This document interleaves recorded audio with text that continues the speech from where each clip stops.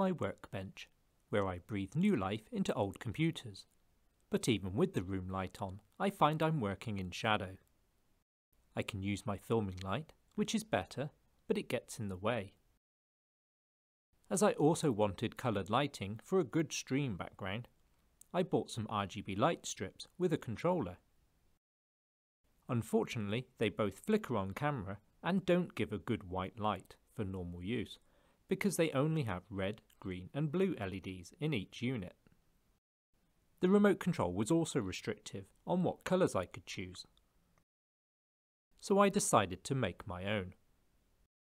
This 12 volt 2 amp supply works, but I later found it struggled so I would recommend at least a 3 amp supply. Four of these high speed controllers allow each colour of LED to be dimmed without flicker on camera. A barrel jack socket that matches the power supply's plug. Some 5 pin LED connectors. And 5 core cable to match. This 5 meter roll has all-in-one RGB with cool white modules at a dense 60 LEDs per meter. And to house the controllers, a small project box.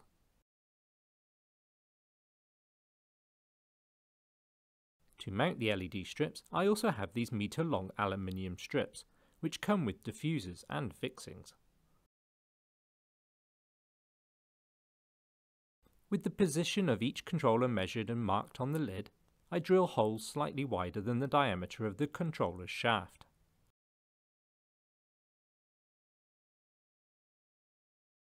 Before I solder the power connector, I should first check whether the PSU is center positive. Usually the label should state the polarity, but this one doesn't. A quick check with a multimeter confirms it is though. Best make sure I get the solder tabs the right way around too. The solder fume extractor I made nearly two years ago is still keeping my lungs safe. Heat shrink prevents shorts and gives a nice professional look. If you can't see what I've forgotten though, you soon will.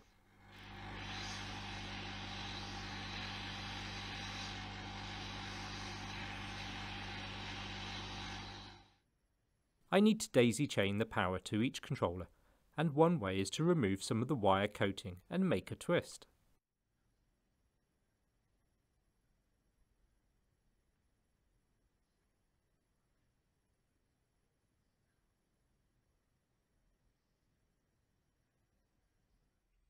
I do the same for the positive and negative to the input of each controller and check they all work.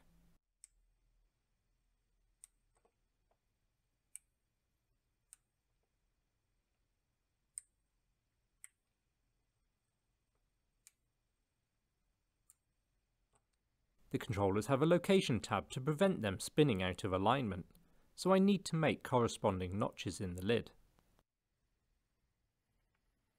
I needed a straight edge that fitted inside the lid. Who says floppy disks aren't useful?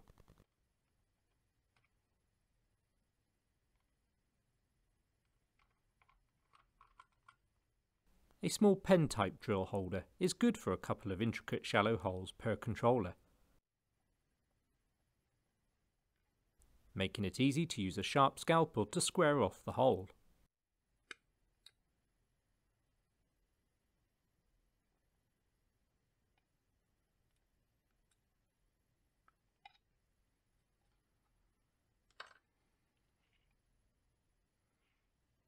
The controllers fit into place firmly and can't move.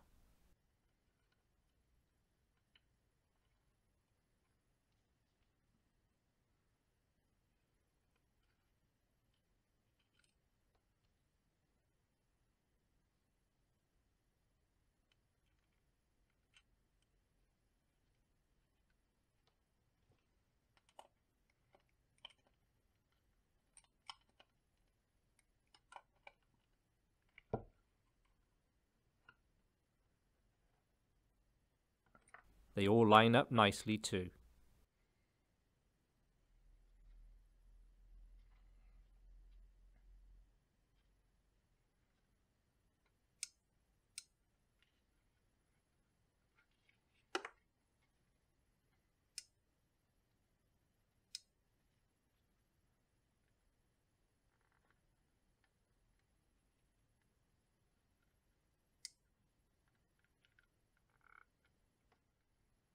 Power connector needs to feed in through a hole, so I need to undo some of my work to disconnect it. Although thinking ahead would have prevented this, sometimes you just need to get building.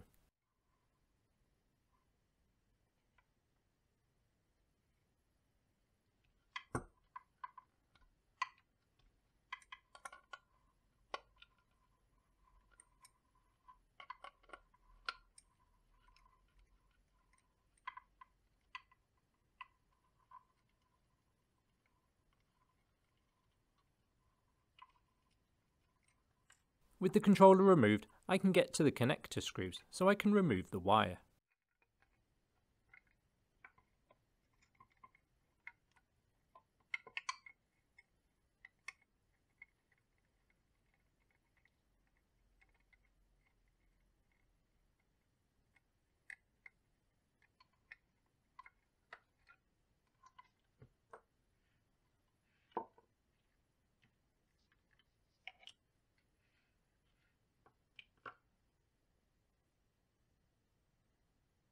Remember the heat shrink from earlier? Well, now it's preventing me from removing the nut. So that's one more thing I need to undo. Removing only one though is enough to allow the nut to pass.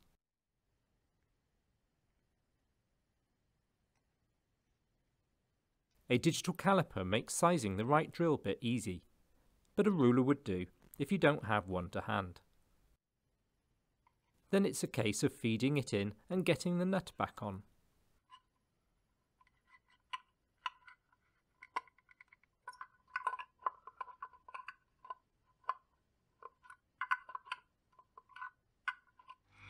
This thinner heat shrink I have shrinks very quickly so I don't melt the case. This piece of heat shrink has a glue inside and will work as a cable strain relief later.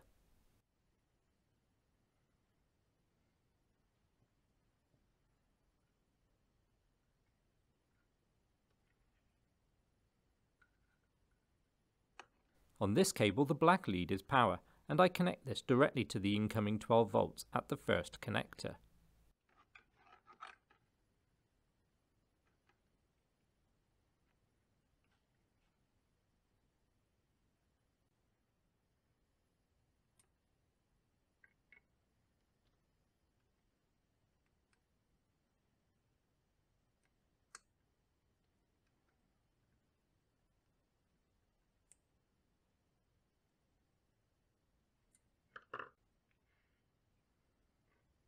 Red, green, blue and white cables are the grounds from each LED and just need to be connected to the grounds on each controller, one per colour.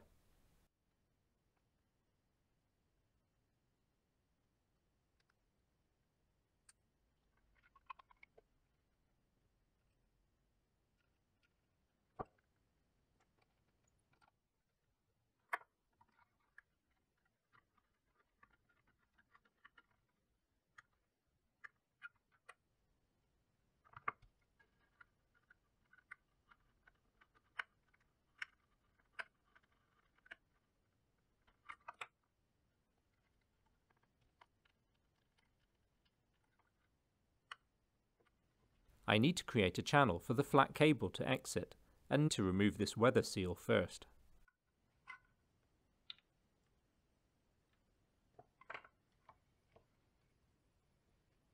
Then find a good position for the heat shrink.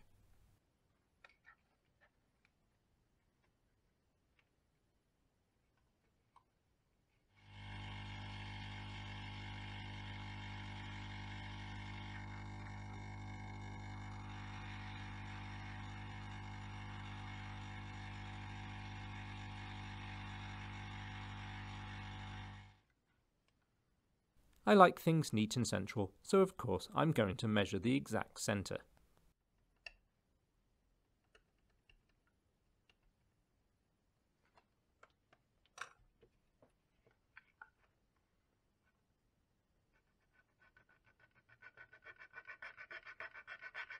A set of small files is useful for jobs like this.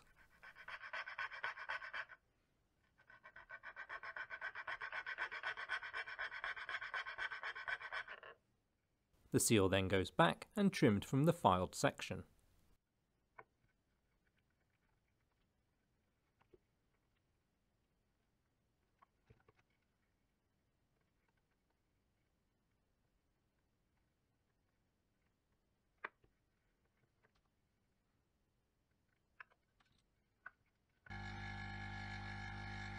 By reheating the heat shrink, the glue softens and I can squeeze it to custom fit the gap before it cools. I wish the hot air station made less noise though. Can anyone recommend a near silent model?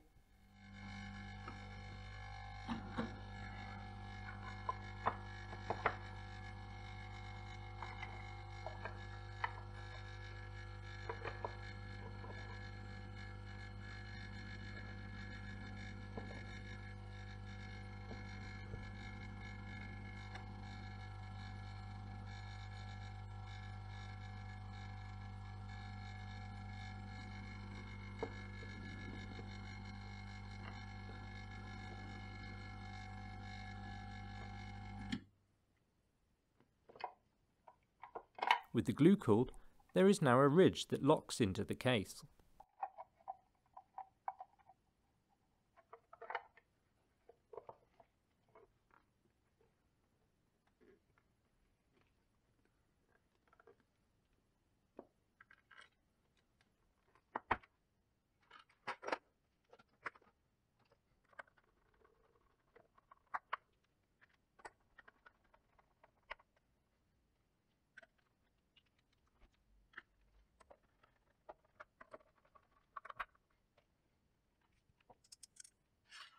You can buy various LED strip housings for different mounting styles, and these are surface mount with a diffuser. They come with clips, screws and these end caps. Some of the end caps have a hole for the cable, but it's too small for my 5 core cable.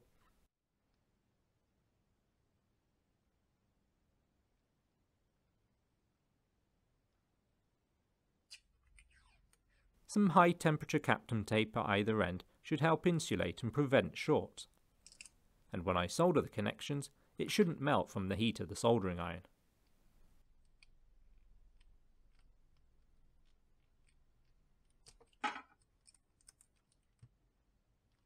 The LED strips have an adhesive backing and I leave a gap at the end for the wiring.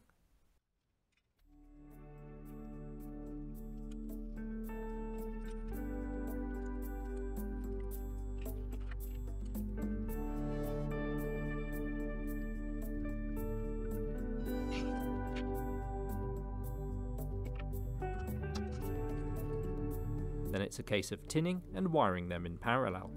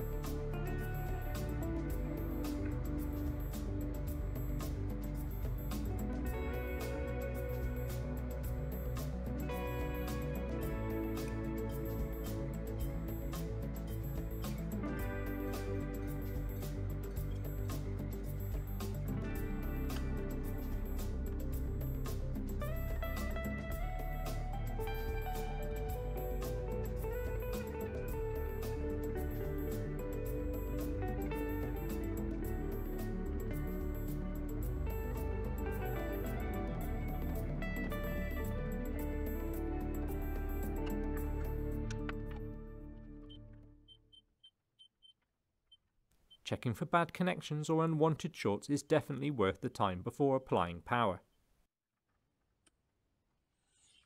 The diffusers slide in from one end. I've also modified the end caps so they now fit over the wires, giving a nice neat finish.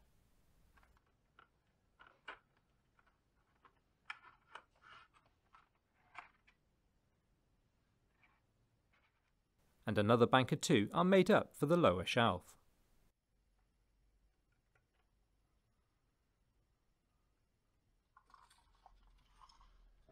Careful measuring ensures the lights will be central and neatly aligned.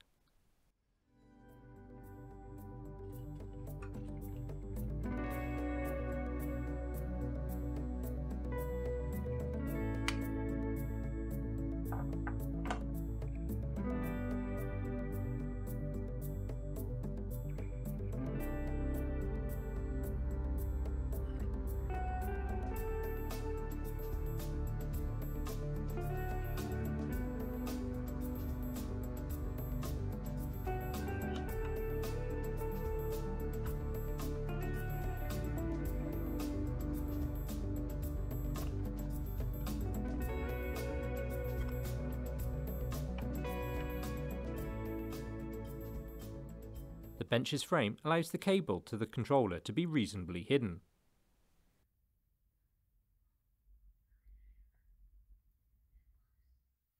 The cable connects to the two banks of lights in parallel and runs back underneath the desk to where I have mounted the controller.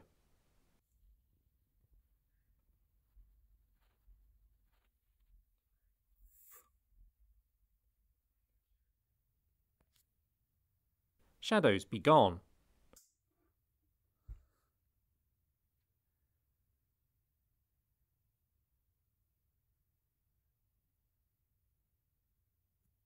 And if I get bored with white light, well, now I can mix any combination I want.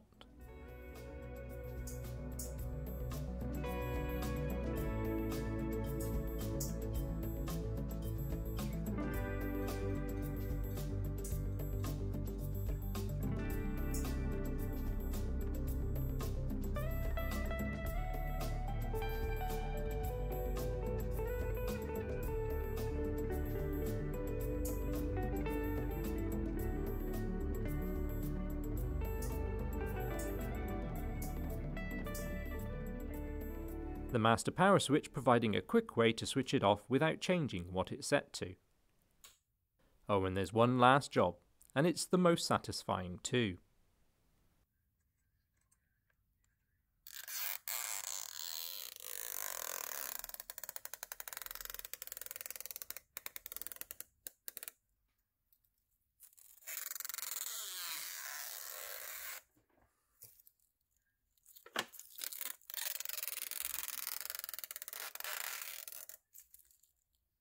So with better lighting for refurbs and funky lighting for streams, you'll now know how that happened. And until next time, goodbye.